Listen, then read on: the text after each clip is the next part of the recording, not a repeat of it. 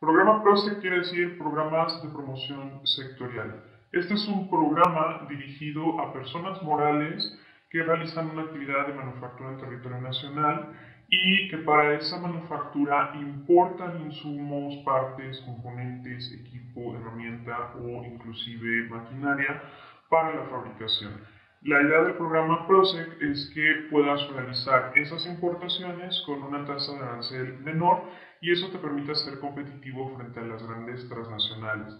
En este programa no se te obliga a exportar. Si lo haces, qué bueno, pero no es uno de, las, eh, de los requisitos del programa. ¿Cómo podemos participar del programa PROSEC? Aquí en la descripción del video te voy a dejar un link a donde tú puedes consultar el decreto PROSEC. Lo primero que tú tienes que hacer es verificar en ese link, en el artículo tercero del decreto, si el sector industrial en el cual tú te encuentras está listado como uno de los sectores beneficiarios del programa PROSEC. Prácticamente es imposible que una industria eh, nacional se quede sin participar en el programa PROSEC porque prácticamente están listados todos los sectores industriales. Pero digamos que ese es el primer candado, o sea, verificar en el artículo tercero del decreto, repito, que eh, tu sector industrial esté listado en el decreto. Posteriormente tienes que revisar los productos o el producto que elaboras. Eh, si tú no exportas, consulta a un especialista en comercio exterior para tener la fracción arancelaria de esos productos. Pues bien, vas a ubicar esa fracción arancelaria de tu producto como si lo fueras a exportar aunque no lo estés exportando y te vas a ir a este decreto PROSEC al artículo cuarto. En este artículo cuarto del decreto PROSEC lo que vas a verificar es si para el sector, en este, eh, en este artículo cuarto va a venir sector 1 y una serie de fracciones arancelarias, sector 2 y una serie de fracciones arancelarias. Entonces, cuando tú fuiste al artículo tercero, ahí te aparece un número que identifica tu sector. Al momento que te vas al artículo cuarto, buscas ese número, esto está indicado con números romanos, entonces buscas el número romano correspondiente a tu sector y verificas si la fracción arancelaria del bien o bienes que produces están listados en este artículo cuarto. Si es así, quiere decir que estás a punto de poder eh, realizar importaciones bajo proceso. Después de esto viene un tercer y último paso, que es ahora ubicar las fracciones arancelarias de esos insumos, partes, componentes, equipo o maquinaria que importas para la elaboración de tus productos. Eso tú no tienes problema porque ya eres una empresa importadora, entonces te vas a los pedimentos, ubicas las fracciones arancelarias y ahora te vas al artículo quinto del decreto.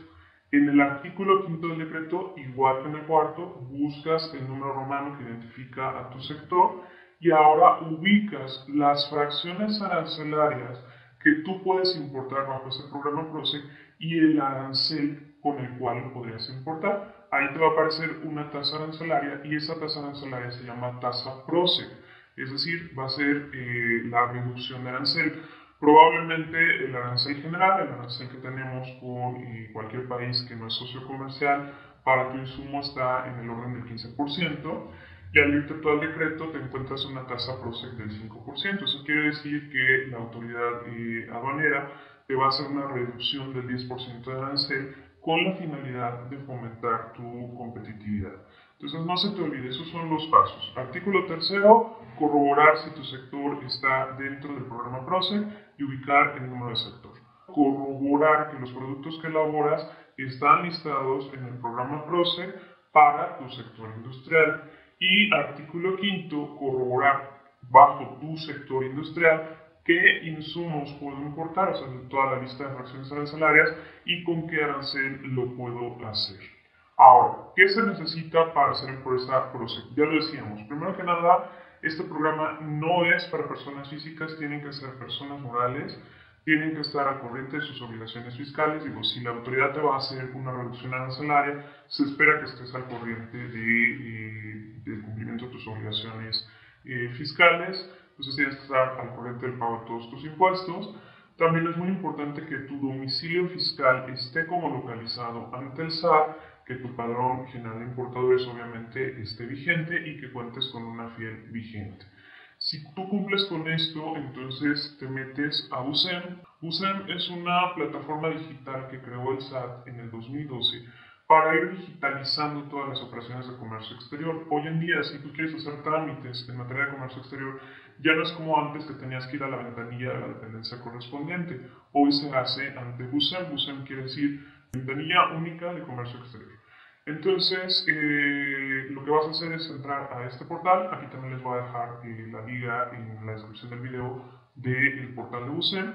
Y ahí vas a buscar Secretaría de Economía, trámites, y vas a ubicar los trámites para incorporarte al programa PROSEC. Y ahí viene incorporación al programa PROSEC, que lo que haces es realizar una solicitud. Una vez que tú ingresas la solicitud ante BUSEM, lo que va a suceder es que en un lapso de 5 eh, a 10 días hábiles te va a ir a revisar un inspector de la Secretaría de Economía al domicilio fiscal que estás eh, colocando en esta solicitud para corroborar y hacer una inspección ocular de que efectivamente eres una planta manufacturera, de que efectivamente vas a producir los bienes que estás solicitando en tu programa PROCE y de que efectivamente tienes un proyecto en el cual vas a importar algo. Una vez que ellos ya hacen esa visita eh, y obviamente verifican que esta información es correcta, viene ya como tal eh, el, visto bueno por parte de la Secretaría de Economía y a través de ventanilla única te van a dar tu acuse de inscripción al programa PROCE, hecho lo cual puedes ya proceder a la importación de insumos, partes, equipos, herramientales e inclusive maquinaria para lo que tú estás produciendo. Ahora, una parte muy importante en el programa PROCE es que a lo mejor tú, eh, tu planta tiene dos sectores industriales y eh, tú registraste un solo sector porque era en el que estabas realizando importaciones. Pero resulta que te das cuenta que hay una fracción arancelaria de un insumo que sí está listado en tu sector, pero que podrías utilizar para la fabricación de un artículo de otro sector. Ojo con eso, eso no se vale y eso es causal de cancelación del programa PROCE más la debida visita de las autoridades de Hacienda para imponer la multa correspondiente. La multa es porque eh, en ese momento el arancel eh, reducido que te estaban dando ya no es válido, te van a cobrar sobre la tasa arancelaria más alta, se va a hacer el recálculo de todas las contribuciones y aprovechamientos y entonces tendrás que pagar la diferencia de contribuciones tendrás que pagar actualizaciones y recargos por esas contribuciones y la multa que corresponda a cada tributo. ¿sí? Entonces ten mucho cuidado porque esos cruces de, ah, bueno, pues yo tengo el sector 2A registrado, entonces lo importo por el 2A y lo uso para un sector de plásticos, por ejemplo.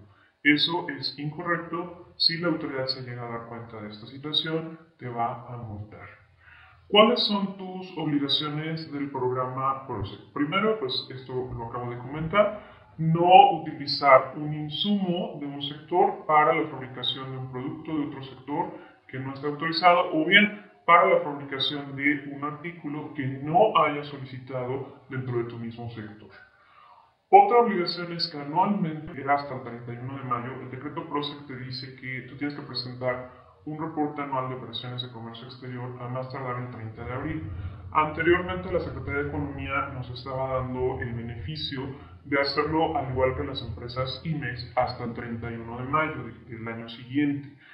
Eh, pero bueno, este año eh, se enfocaron a lo que dice el decreto, entonces a partir de este año, no sé cómo va a estar el siguiente año, pero a partir de este año nos pidieron que el reporte anual de operaciones se presentara a más tardar el 30 de abril. Este es un reporte en el cual tú vas a decir cuál fue tu balanza comercial. Entonces, tienes primero que nada eh, que ya haber presentado tu declaración anual del ejercicio, porque en ese reporte lo que tú le vas a informar a la Secretaría de Economía es eh, las ventas totales que tuviste, cuál fue el monto total de lo exportado y cuál fue el monto total de lo importado. Y además le vas a informar de estas importaciones que yo hice bajo PROSEC, yo fabriqué tantas eh, unidades de X artículo y de esas unidades tantas se vendieron en el territorio nacional o tantas se exportaron. Lo que te queda en almacén no es necesario reportarlo, eh, simple y sencillamente si lleva movimientos, controles de inventarios. Y repito, no es necesario que tú eh, registres exportaciones, o sea, si en el rubro de exportaciones, porque tú no exportas, eh, no hay nada que reportar, simple y sencillamente pones cero. Lo importante es que sí determines cuántas unidades del artículo se están vendiendo en territorio nacional. Esa es la, la otra obligación del programa PROSEC. Y una obligación más es cumplir con un sistema de control de inventarios automatizado. Llevar un sistema de control de inventarios es tener un Excel con los campos que a mí me interesa controlar. Eso no te lo autoriza la, la autoridad. Necesitas un software de control de inventarios. Para el caso de PROSEC, no necesitas ser un software especial, bastaría con un eh, SAE, por ejemplo, del caso de Asper, eh, si tienes un poquito más de capital, a lo mejor un SAP. El hecho es que tu software de control de inventarios que estás adquiriendo te permite hacer todo el rastreo de ese pedimento de importación cuando entró, se fue a un almacén de materias primas, si fuese el caso, cómo de ese almacén de materias primas salió a un almacén de producción en proceso, cómo de esa producción en proceso entró a un almacén de producto terminado y cómo se extrajo de ese almacén de producto terminado, ya sea para una venta nacional, si fuese el caso para una venta de exportación o si fuese el caso para destrucción al tratarse de bienes que estaban dañados, resultaron obsoletos, con un defecto de calidad, etcétera, etcétera.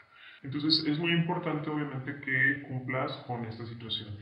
Y eh, la última obligación se desprende del artículo 59 de la ley aduanera, que son las obligaciones generales de todo importador. Básicamente estamos hablando de eh, contar con el padrón general de importadores y en su caso un padrón, de general, eh, un padrón sectorial. esto que les acabo de comentar del sistema de, de, control de inventarios y también manifestar el valor en aduana de las mercancías y finalmente en todo momento comprobar el origen de lo que estoy importando. Esas serían las obligaciones de tu programa PROCE y obviamente eh, llevar la contabilidad al día y estar al corriente con el cumplimiento de todas las obligaciones fiscales. Si tú no estás cumpliendo con eh, estos requisitos, lo que va a suceder es que la autoridad va a proceder a cancelarte el programa. ¿Qué puede pasar si eh, la autoridad te cancela el programa? En donde tú incumpliste con algo de los requisitos del programa, pues vendrá la sanción correspondiente. Si no hubiese ninguna sanción por pagar, lo que va a suceder es absolutamente nada, simple y sencillamente que a partir de que esté la cancelación en firme del programa, ya no vas a poder seguir importando con un arancel reducido. Ahora, el tema sería que eh, vamos a suponer que es el ejercicio 2018, te cancelan, eh, tú tuviste vigente el programa de enero del 2018 a junio del 2018, que es cuando te cancelan el programa. Eso quiere decir que para 2019 tú todavía tienes la obligación de presentar el reporte anual de operaciones al comercio exterior. Aunque haya habido eh, una situación de cancelación, eso no exime que por el periodo que sí estuvo vigente el programa, tú debas presentar este reporte anual. Pues bien, esto es todo en cuanto al programa.